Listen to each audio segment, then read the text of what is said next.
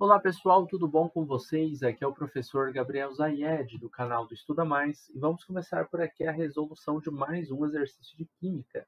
Mas antes não esqueça de se inscrever no canal e de deixar um like no vídeo, caso você goste do conteúdo. E se você quiser participar dos nossos cursos, que são preparatórios para Enem, vestibulares e também concursos militares, na descrição do vídeo você encontra o link destes cursos. Essa daqui é uma questão da UFRJ e diz o seguinte: a tabela abaixo ela contém os pontos de ebulição a uma atmosfera medidos em graus Celsius de diversos alcanos. Temos aqui alguns alcanos, como metano, etano, propano e butano. Uh, temos aqui também alguns alcanos, só que aqui ramificados, ó, metilpropano. Não, esse aqui é o normal pentano, não é ramificado, né? mas temos aqui o metilbutano.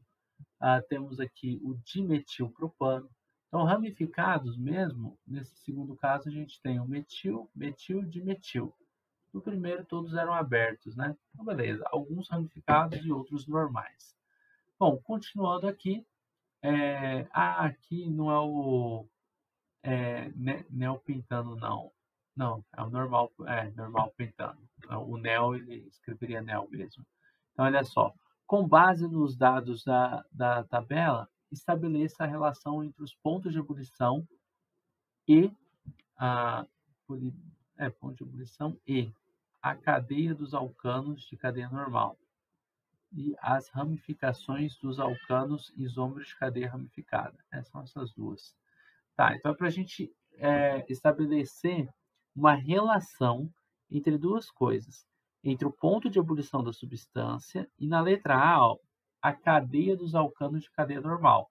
Então, de cadeia normal, nós temos aqui o, butano, o metano, que é o CH4, que é uma cadeia não ramificada. A ramificada é a que tiver carbonos terciários ou quaternários, tá?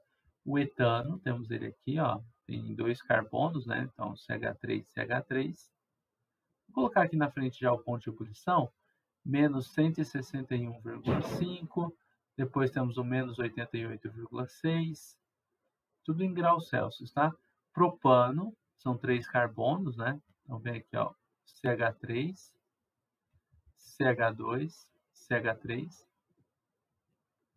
que é de menos 44,5 tudo em graus Celsius. Ah, o que você pode estar percebendo aqui é o seguinte: quanto maior a massa molar, maior a massa molar, maior o ponto de ebulição. É essa relação que a gente pode fazer. Ó. O ponto de ebulição ele cresce quando a estrutura da molécula cresce, sua massa molar ela está aumentando. Tá? Aí você vai perceber isso no butano também, são quatro carbonos, o ponto de ebulição é um pouco menor.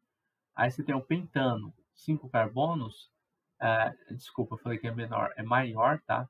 Ó, o butano são 4 carbonos, o pentano são 5 carbonos. O butano é menos 0,5 graus Celsius. O pentano já é 36 graus Celsius, já ficou positivo, já cresceu bem, né? Então ele vai aumentando o ponto de ebulição na medida que a massa molar está crescendo. Então seria essa relação que a gente poderia fazer na, na letra A. Na letra B, ele fala sobre as ramificações dos alcanos isômeros de cadeia ramificada. Isômero é quando tem a mesma fórmula molecular. Então, por exemplo, ó, é, metilpropano. Metilpropano são 3 com mais um, 4 carbonos. Tá? 4 carbonos eu tenho aqui, aqui eu tenho metilbutano, tenho 5. Dimetilpropano eu tenho 6. Hum, então a gente vai ter que relacionar ó, o metilpro, o, o metilbutano com o, norm, normal pentano, porque aqui os dois são isômeros. A fórmula do pentano é C5H12 e a do metilbutano é C5H12 também. A de cima, ó, metilpropano, ele é C4H10 e esse de baixo é prop, são três carbonos, 5, 6. É, C4, ah, desculpa, C6 H14. Então, os isômeros aqui a gente tem esses dois, ó, o pentano e o metilbutano. Vou marcar aqui, ó, pentano ou o normal pentano, que é a mesma coisa, tá? Só quer dizer que é uma cadeia normal. É um CH3 ligado a um CH2, ligado a outro CH2. a outro CH2 e depois um CH3. Essa estrutura tem um ponto de ebulição que é de é, 27, é, 36 né, graus Celsius. E temos o metilbutano. Metil, uma relação aqui, butano. Observe que ele não numera, porque não precisa. Obrigatoriamente, esse metil vai ter que estar no carbono de número 2, tá? Vai ser esse aqui, ó, CH3, CH2, CH3. Ele não pode estar nas pontas, e se ele tivesse nesse carbono, esse seria o de número 2. É a mesma molécula, só que girada, né? Girando ela. Tá, e o metilbutano, que é essa estrutura que está aqui embaixo, qual que é o seu ponto de ebulição? Ele quer 27, né? 27,9. Observe que os dois têm a mesma massa molar, é, porque eles são isômeros. Por que, que o metilbutano ele tem um ponto de ebulição menor do que o do pentano, se eles têm a mesma massa molar? A fórmula molecular dos dois ó, é C5H12. Então a massa molar dos dois vai ser igual. Quanto mais ramificado é um, um composto, menor o ponto de ebulição. Tá? Então vamos marcar isso aqui. Ó. Já explico o porquê. Quanto mais ramificado,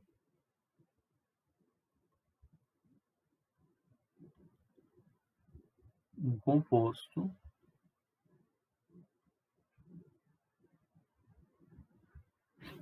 maior, maior não, menor é o seu ponto de ebulição.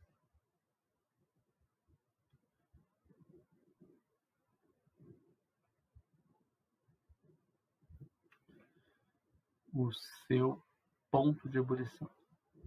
Tá bom? Então, esse aqui tem uma ramificação, observe que a cadeia principal está aqui, e nós temos uma ramificação aqui, ó. Então, o ponto de ebulição dele cai um pouco em relação ao pentano, que não tem ramificação. Isso acontece por causa do acoplamento.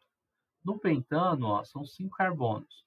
Pode aparecer uma outra estrutura de pentano aqui e fazer interação intermolecular em vários pontos da molécula. Elas podem se acoplar. Quando você pega um composto que ele é ramificado, dependendo a posição que vai chegar o outro composto ramificado, é, ele pode, tipo assim, não conseguir se acoplar bem. Tá? Então, vamos supor, ele vai fazer uma interação aqui, vai conseguir fazer uma interação aqui, mas esses pontos aqui, ó, da cadeia principal, talvez eles não consigam interagir com a cadeia principal aqui pela distância que ficou uma da outra. Então, tem menos interação intermolecular quando a molécula é mais ramificada. Então, quanto mais ramificado um composto, menor é, a, menor é o contato entre esses dois compostos, então menor vai ser o seu ponto de ebulição, porque a interação intermolecular acabou ficando menor. Os dois eles fazem o mesmo tipo de interação intermolecular, de mesma intensidade. São compostos apolares, né? Eles fazem interação intermolecular do tipo Van der Waals, é, interações de polo induzido, tá? Por exemplo. Só que um faz mais interações do que o outro pelo acoplamento. Tá? Beleza? Então, basicamente é isso. Uh, espero que você tenha compreendido uh, uma análise aí dos pontos de ebulição. Primeiro você analisa quem tem maior massa molar, depois você analisa quem é mais ou menos ramificado, e por último você analisaria o tipo de interação intermolecular entre eles, mas no, caso são só alcanos, então todos têm a mesma interação, a gente não fez essa análise nesse vídeo. Tá? Desejo bons estudos para você e a gente se encontra numa próxima aula resolvendo outras questões de química. Caso você queira participar dos nossos cursos, que são preparatórios para Enem vestibulares, e também concursos, na descrição do vídeo você encontra o link destes cursos.